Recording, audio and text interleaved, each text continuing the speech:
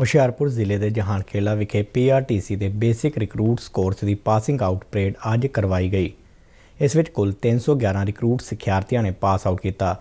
ਪੰਜਾਬ ਦੇ ਵਧੀਕ director general police HRD Shashi Prabha Dwivedi ਨੇ ਪਰੇਡ ਦਾ ਨਿਰੀਖਣ ਕੀਤਾ ਅਤੇ ਪ੍ਰਭਾਵਸ਼ਾਲੀ ਮਾਰਚ ਪਾਸਟ ਤੋਂ ਸਲਾਮੀ ਲਈ ਪਾਸ ਹੋਣ ਵਾਲਿਆਂ ਵਿੱਚ 269 ਰਿਕਰੂਟ ਸਿਪਾਹੀ ਅਤੇ 42 ਮਹਿਲਾ ਸਿਪਾਹੀ ਸ਼ਾਮਲ ਸਨ।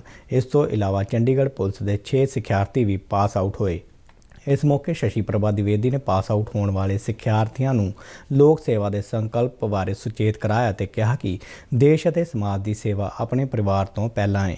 ਉਹਨਾਂ ਕਿਹਾ ਕਿ ਕਿਸੇ ਵੀ ਪੁਲਿਸ ਮੁਲਾਜ਼ਮ ਨੂੰ ਦੇਸ਼ ਸੇਵਾ ਦੇ ਜਜ਼ਬੇ ਦੀ ਪ੍ਰੇਰਣਾ ਦੀ ਸਿਖਲਾਈ ਪੁਲਿਸ ਟ੍ਰੇਨਿੰਗ ਸੈਂਟਰ ਤੋਂ ਹੀ ਮਿਲਦੀ ਹੈ ਪੀਆਰਟੀਸੀ ਦੇ ਕਮਾਂਡੈਂਟ ਹਰਪ੍ਰੀਤ ਸਿੰਘ ਮੰਡੇਰ ਨੇ ਸਿੱਖਿਆਰਥੀਆਂ ਨੂੰ ਦਿੱਤੀ ਪੇਸ਼ੇਵਾਰਨਾ ਸਿਖਲਾਈ ਦੇ ਹੁਨਰ ਦਾ ਵੇਰਵਾ ਦਿੱਤਾ।